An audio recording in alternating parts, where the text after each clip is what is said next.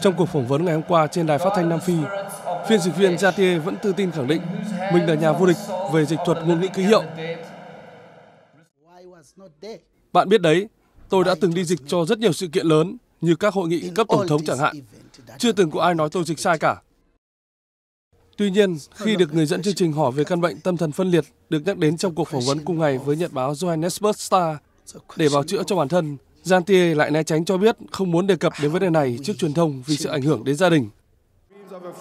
Với sự góp mặt của gần 100 nguyên thủ và cựu nguyên thủ, những bài phát biểu tại lễ tưởng niệm cố Tổng thống Mandela ở sân vận động Johannesburg ngày 10 tháng 12 cũng được dịch sang ngôn ngữ ký hiệu để thuận tiện cho các khán giả khiếm thính.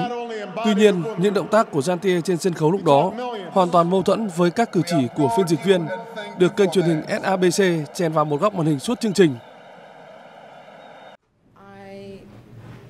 Tôi cảm thấy vô cùng phẫn nộ.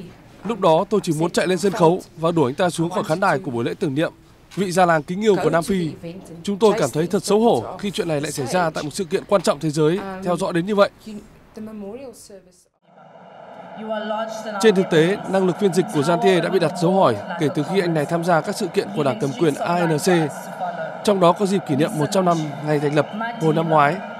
Viện phiên dịch viên Nam Phi cho hay đã có những khiếu nại về ngôn ngữ ký hiệu của Giante trước đây, nhưng đảng cầm quyền không có phản ứng gì.